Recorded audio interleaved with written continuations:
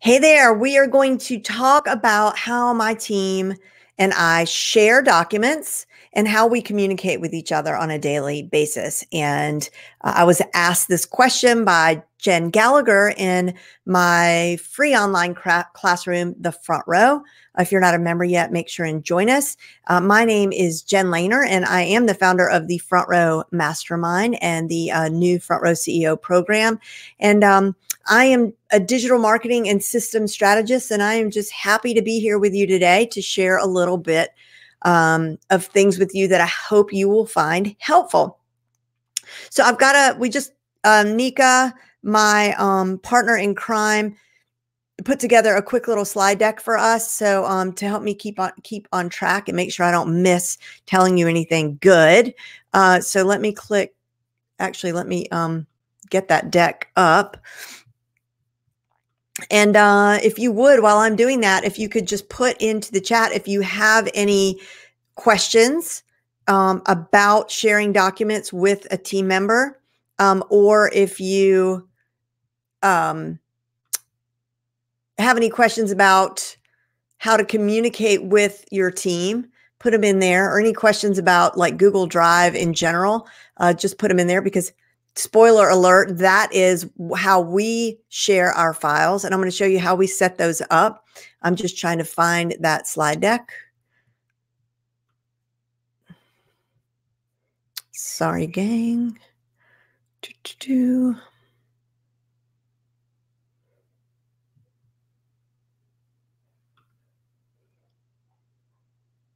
Found it.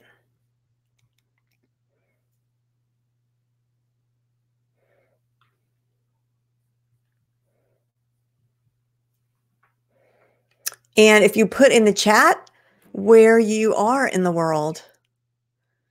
And I'd also like to know what the weather is like because it's it's like 50 degrees and sunny in Cleveland, Ohio. So I'm just, are you having the same sort of heat wave? Uh, okay, I've got my thing up, and now I have to share my screen. Hold on. Hey, Ben. Okie dokie. Sorry, Nika. Now you're going to have to edit all this for the replay. uh, all this dead time. Okay. Am I sharing yet? I am not. Share screen.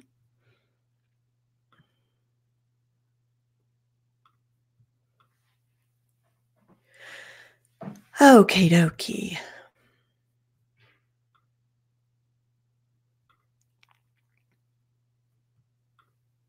Okay, how we communicate and share our files. So, today we're going to talk about the tools that we use to share our files and how we communicate as a team day to day. So, our three main tools are Trello, Voxer, and Google Drive. Let me double check that I'm sharing my screen with you. I am. Okay. And whoops, let me get back.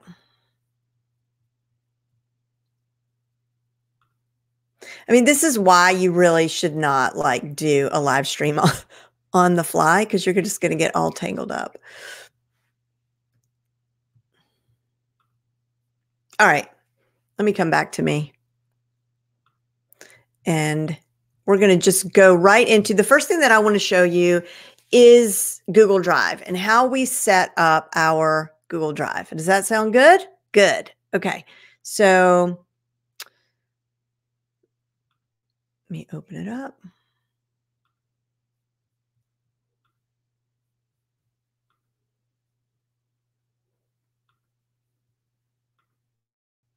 Okay, so here we are inside our Google Drive. And a couple things I want to point out to you. So, first of all, the way that I'm doing this is not the holy grail. Like, in fact, we're in the middle of changing a lot of this up. Um, our team meeting next week is in fact all about this. We're gonna we're gonna do things a little differently. We're gonna try some new things um, for this year see if they work better.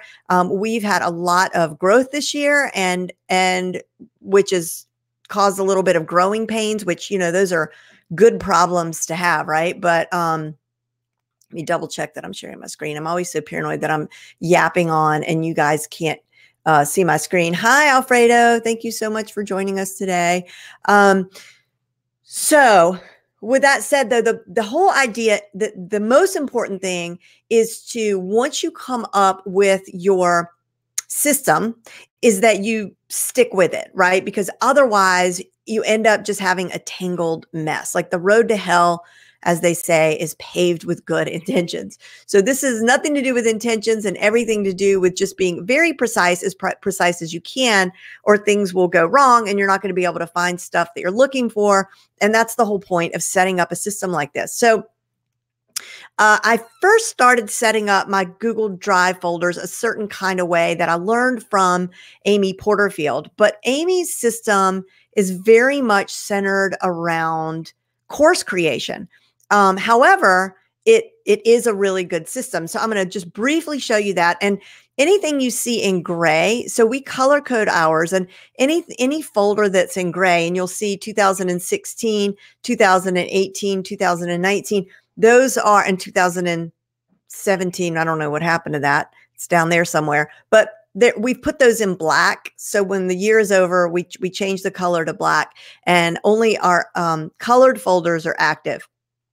So, uh, and you know, and I would just take the numbers off the front so they would drop down to the bottom and we wouldn't even see them.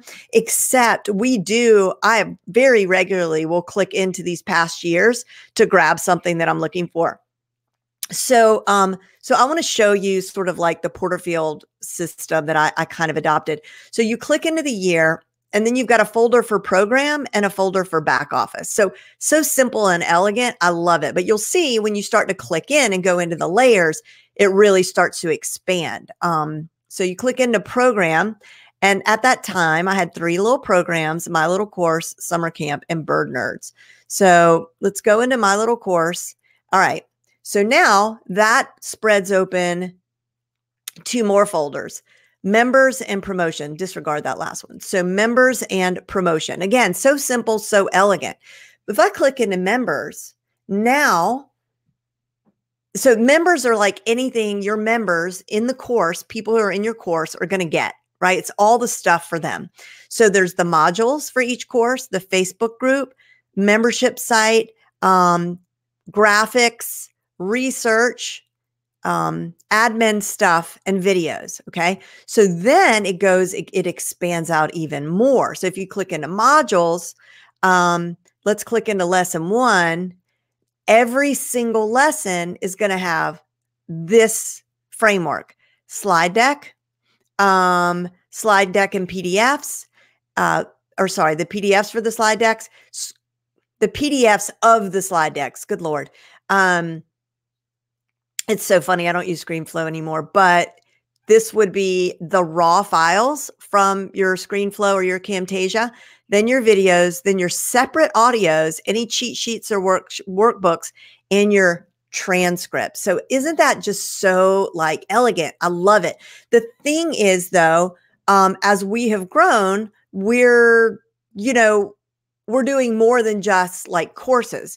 Um, but this served us well for for a while. And when we go to um, to our meeting on Monday and we sort of come up with our new plan, this will be more or less the framework we're still going to use inside of each of our programs, like our courses and stuff.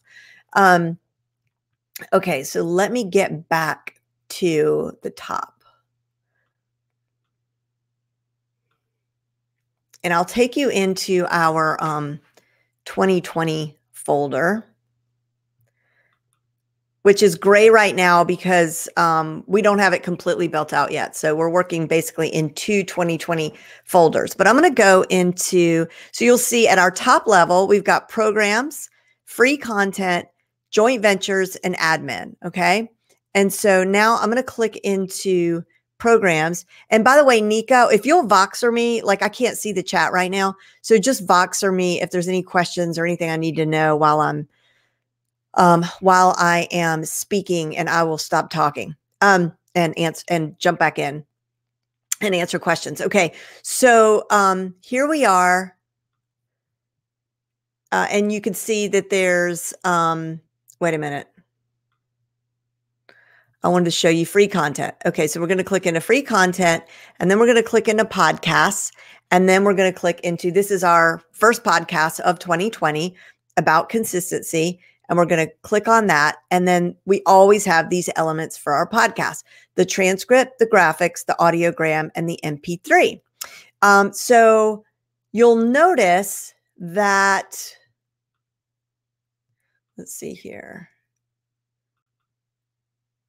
if I click into transcript, you'll notice and and you can see at pretty much every level there is a consistent way that we name our files and that's called having a naming convention. Does not matter. Well, I take that back. There's a lot of SEO people that say it matters a lot how you do this. I cannot remember what they say. I think that like whatever it is you're talking about in that content should should definitely be in the file name. So I mean, I do have consistency in there, uh, but but what I want you to see is that we talk about what it is first, all caps. So this is a podcast underscore episode number and then the title.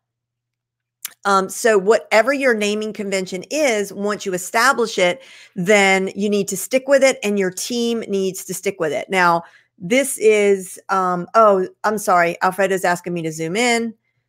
Sorry about that. And you know what I should do? I should come off the screen as well, and that'll make it bigger. Let me just do that.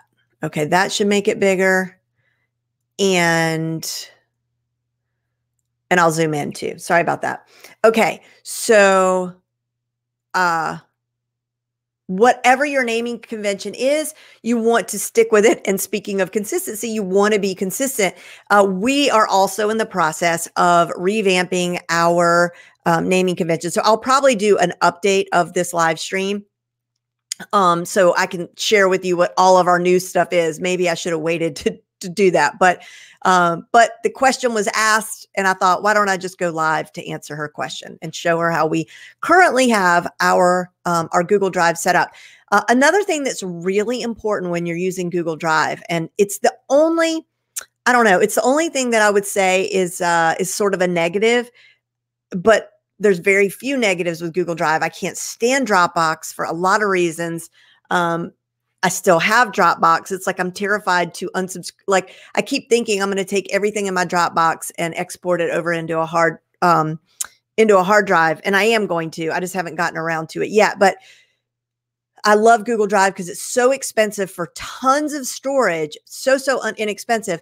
But um, but the one thing that's kind of a negative is that you if you forget to set up your sharing settings correctly, if you don't do that correctly, then the people on the other end aren't going to be able to open it. Now, if these people are member of your members of your team and you have Google Suite, you have G Suite, then automatically they're going to be part of your your G Suite and so they will always be able to access anything that you share with them. But but let's say that they're not part of G Suite and you don't have G Suite and you want to share a document with them, then you want to make sure and go here and then you want to click over here on the top right, click share. And then you can either give like the exact name or you could click get a shareable link. And this is where it's really important it says anyone at Lehner Media, so that's my G Suite, can view. Um, I can I can change that that they can edit, comment, or view. So this would even be for people on my team, but they, they would all be able to at least see it. Or I'm going to click here and click more. I'm going to say anyone with a link can access it, but I only want them to view it or I'm allowing them to edit or comment. The important thing is you're just going to have to choose what's right for you and um and just try to get in the habit of doing that. Okay. But collaborating in Google Suite is I mean Google Drive is is a is a wonderful thing, but you it's it's frustrating if you don't set your settings, your sharing settings correctly. Okay, I think I made that point well enough. All right. So let me uh stop the share on this real quick and um see if we've got any questions. Uh, can you get 200%? The text is really tiny. Okay. Um, so now what I'm going to do is I'm going to show you Trello. Okay. Now, there's so many wonderful, wonderful. I'm like, I don't know how these people make money because anymore, like between note taking apps, I mean, why would anybody even bother to make another note taking app when there's Evernote? The best. I know OneNote is great and all these other ones, but like it's just Evernote is the best. And the same and and the same thing goes with um these collaboration uh, project management tools. There's so many, they're so good. Um, and there's so many to choose from. But when I find something that works and it works really well, then I tend to stick with it. And that for us is Trello. I could be swayed to move to Asana because it is so awesome too. But our team, we know Trello. We've built out so many Trello templates um, for people. We've incorporated them into our course. So, like, uh, for my newest program, Front Row CEO, in the beta launch, I was experimenting with Process Street. And then we realized that like no it's just it's just not as good it's not as good for us it's tr- like has a million features. We used a quarter of them. So I'm sure that's why I, I'm saying that. But I'm just saying we love Trello, but whatever you love, if it's working for you, stick with it and don't, um, you know, and don't jump over to Trello just because I'm showing you this thing. And unfortunately, I can't see who that is, but yes, I agree. We love it too. Okay, so let me show you real quick. I've got a call I have to get on in like 14 minutes. So I have to, I got to hurry this along. Uh, Kidoki, let's see, Chrome tab. Okay. All right, this looks so messy. I know that it does, but what I want to tell you is it really, really works for us. Okay, so this is this is where we go every day. This is our office and I'm going to talk you through it real quickly, but um, most of our most of the action for us happens right here. So, um, so this is Nika's card. This is Flong's card. This is like the overall team card.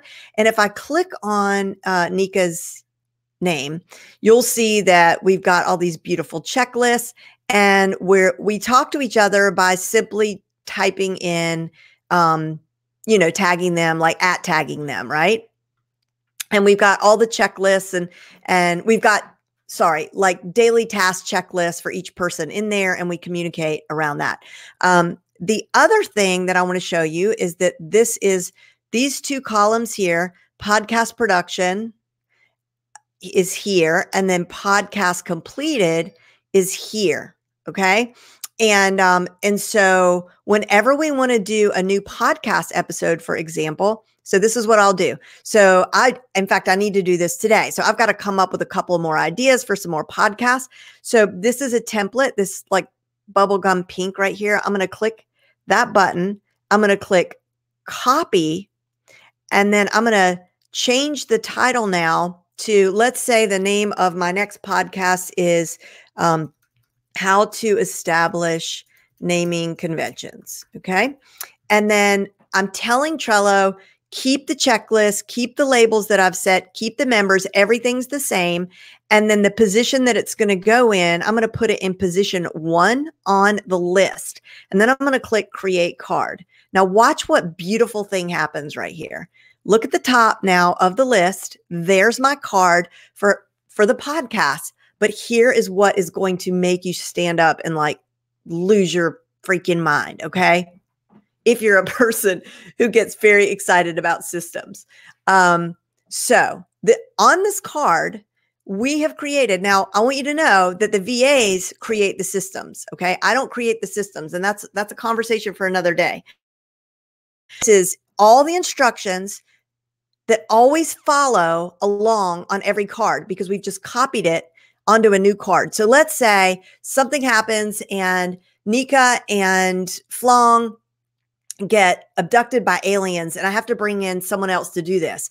I could put anybody off the street on this card. They could watch the videos and then follow this these beautiful checklists which is incredibly detailed step by step and it's broken down into each person's responsibilities and we put a due date up at the top. So as soon as I create the card, I'll come over here and I'll put a due date on it. And everybody knows that this is um, like this is a strict due date because we have to publish on Tuesdays. And so I would say that this needs to be done. Like, let's say this is publishing on the 28th. So this needs to be done by the 23rd. And um, I click save. And now we've got a deadline on there and everybody comes in. So this is my to-do list. I have to write and record the episode, send it to the editor, and I have to I have to write the email about the episode. Okay. Um, everybody else, Team Lehner is doing all the rest of this stuff, every single bit of it. And then the post-production, everything. And then I have to there's pre and post production and then i come over here and i have three more things to do. I have to live stream about it. I have to share it on an alexa briefing and i have to share it to my facebook personal profile because they can't share it to my personal profile. Only i can do that. Uh, everything else they are completely doing. All i have to do is step in hit record record my podcast and all the rest happens right here. Um, it's a beautiful thing. And then as soon as that's done we move that over to podcast completed. And you'll see we have some other random lists like um, swipes and examples, podcast ideas. Some of this could be cleaned up for sure. Um, in my current accelerator, I have a separate board for the accelerator, but um, there's some information on each person that I want to have at my fingertips. Things like uh, their birthday and um, the books that they have on queue to read next, and just pertinent information that if I wanted to shoot out a gift in the mail real quick and surprise them, which you know I love to do, um, I could just click over here. Their mailing address and birthday and all that stuff is on uh, on those cards. Um, and then we've got our Kanban over here on deck, working on, and completed. Okay. So we use this a lot as well. So this is everything that's on deck on deck on deck right now. So we need a new page for my Jen's programs. Um, it's there's a lot of courses I'm taking off. In fact, I'm taking most of them off, and we need to update that page as soon as that's done. We start working on that. That's going to get moved here, and as soon as we're finished, it's going to get moved over here. So it looks a hot mess, but it really works for us. Now, if I go over here and you look for um, where's the onboarding one we were going to show, Nika? Do, do, do.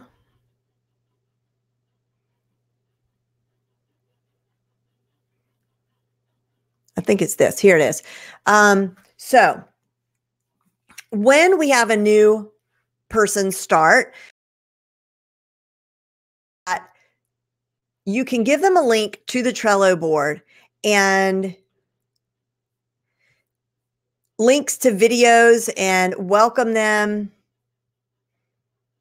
like right here is a welcome video and says welcome start here first steps next steps and um, all in every single one of these columns are everything that they need to do this is completely automated there's a video and there's a checklist and everything they need to do and um, it's it's wonderful and all you do is record the stuff you already do in your business um, but you just talk out loud while you're doing it and you stick it over here. Okay. Oh my God. I've got seven minutes. Okay. Let me come back over here to you. Um,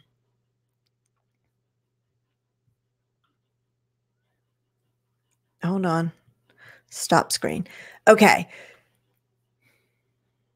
So, well, that probably did. Oh, hey, Carolyn, that probably did not help you at all, then, Alfredo. If anything, that probably um, scared you more because it looks so, it looks like so much. But um, I do have some basic Trello trainings. I think in the in the in the group. Uh, if you go in the front row into files, um, look in the file section, and there's a, a one file that says video trainings, click there and see if there's not a good Trello uh, training. You can also look in the unit section of, of the group. Uh, and the last thing I want to show you, the way that we communicate with each other is on Voxer. So uh, I am going to, let's see if it'll let me do this. Cancel. I'm going to show my uh, phone screen to you.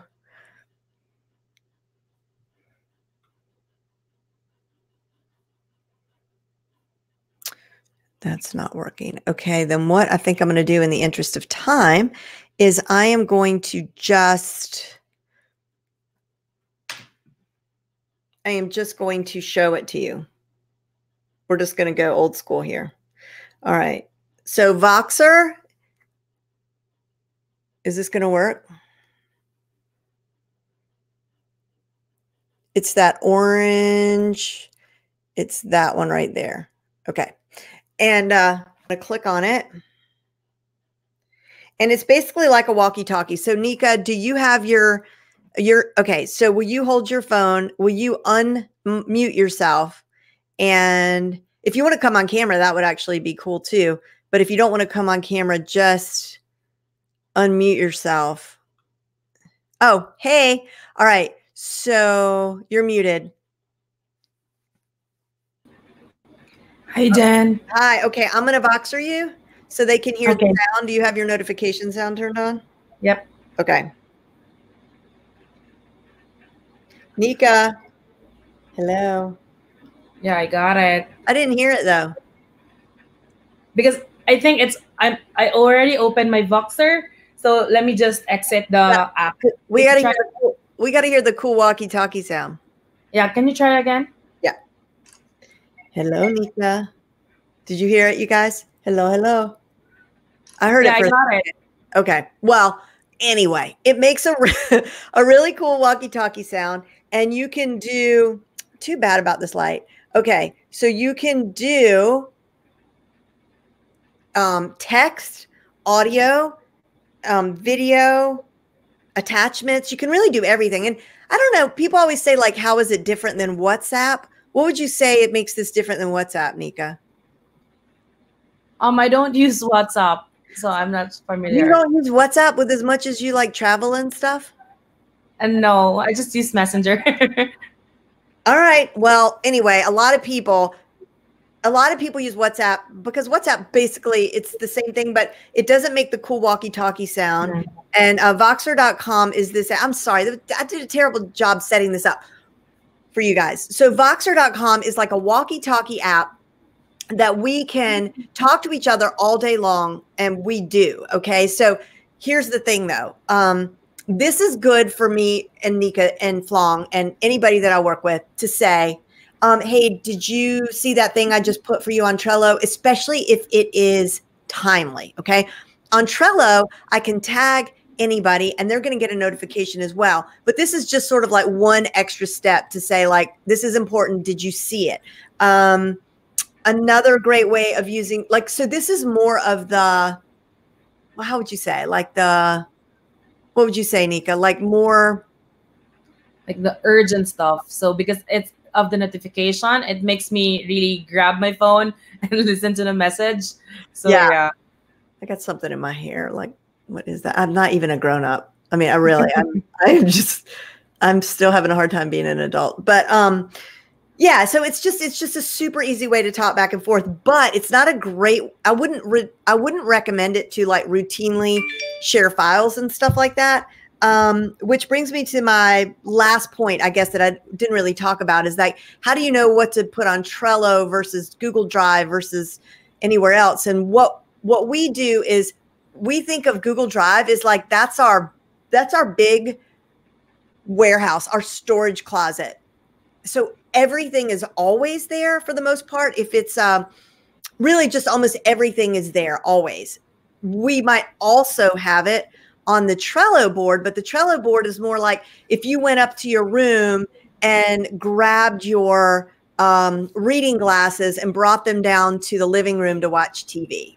That's a terrible example, really, because it's not necessarily it's duplicated, but I'm not having a I'm not doing a good job. I'm not coming up with a good a metaphor or analogy, but um the idea is like that's where everything is. That is the warehouse and we will we will we will link to it over on Trello so we could put our fingers on something really quickly um, but it's there even our canva stuff we have a library in canva we try to keep that organized in folders and stuff and we don't have time to i don't have time to show you that now but uh, Canva is wonderful, at least the paid version, letting you put your images in folders, but it's not enough for us to just have it there. Like we have to download those and upload them into the relevant folder. Um, it drives me nuts when I can't find what I'm looking for. Like Nika will attest to that. It's, you know, and so, I mean, that frustrates everybody. So, uh, anyway, let's see. Um, someone suggested I use Signal. I never heard of it. There's so many good tools right now. I, again, like I don't, and, and by the way, Voxer is free unless you want certain features. I, of course, I'm paying for it because I just seem to pay for everything. I don't know. It's like, I think things disappear if you don't have the pay, or like your conversation isn't searchable if you don't have the the paid one.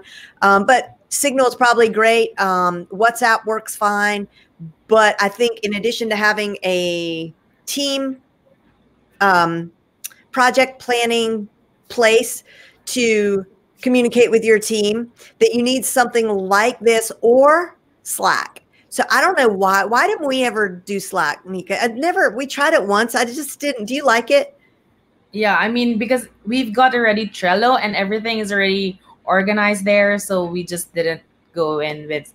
But I don't think Slack Slack is not a replacement for Trello. Slack would more be a replacement for Voxer. More like Skype, I think. Yeah, it is. It's more like oh, that's another one. You could use Skype on your phone too to do this, but um tr- but but slack is more like in the moment communication it, it, it's a little bit trello but it's mo- mostly like this i don't know i just never i never figured i just never it did not interest me slack so we just never picked it up so now after a few years i think we have concluded that we're sticking with trello right yes and um and that's that's that's what we're gonna we're gonna stick with um so